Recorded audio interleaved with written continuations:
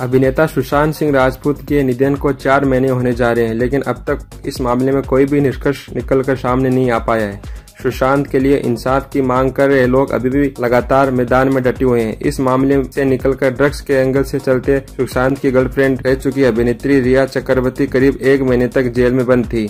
अब हाल ही में उन्हें जमानत पर रिहा कर दिया गया है, लेकिन रिहा की रिहाई से शेखर सुमन खुश नहीं नज़र आ पा रहे हैं। सुशांत सिंह राजपूत मामले में शेखर सुमन लगातार अभिनेता के परिवार के साथ कदम से कदम मिलाकर खड़ी हुए हैं, बल्कि जब परिवार भी मामले में न्याय की गुहार लेकर सामने नहीं आया था, तब से ही शेखर सुमन सुशांत के लिए न्याय की लड़ाई लड़ रहे हैं। अब हाल ही में शेखर सुमन ने रिया चक्रवर्ती को जमानत पर रिहा किया जाने पर अपनी प्रतिक्रिया दी है। अपने ट्विटर अकाउंट पर ट्वीट करके लिखा कि सुशांत का मामला शांत न हो जाए, इसलिए हम सभी को अशांत रहना ज़रूरी है, लेकिन रास्ता बहुत जटिल और मुश्किल है। देश के दूसरों मुद्दों के कारण ये केस पीछे होता जा रहा है। अब क्या और कब तक, ये एक बड़ा सवाल है। दोस्तों, हम आपको बता दें शेखर सुमन ने उसके बाद एक को ट्वीट किया और उस ट्वीट में लिखा है कि रिया को बेल मिल गई है और वो जेल से बाहर आ गई है। सीबीआई और एम्स की रिपोर्ट में कोई अंतर नहीं दिख रहा है। मिरांडा और दीपेश को भी बेल मिल गई है। अब दूसरी फोर्सिंग टीम का भी कोई घटन नहीं हो, हो रहा है।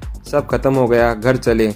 बता दें कि इससे पहले भी जब एम्स की रिपोर्ट सामने आई थी, तब शेखर सुमन ने इस पर निशाना साधा था। उन्होंने कहा था, सुशांत के फैंस ने एक्टर को न्याय दिलाने के लिए काफ़ी मेहनत की है। सभी ने दिन रात एक किया है, लेकिन अब ये केस हाईजेक हो चुका है। इस केस को भटकाया गया है। दोस्तों, हम आपको बता दें, अभिनेता सुशांत सिंह राजपूत मौत मामले की जाँच में सामने आए ड्रग्स एंगल में गिरफ़्तार रिया चक्रवर्ती को बॉम्बे हाईकोर्ट ने बुधवार को जमानत दे दी है।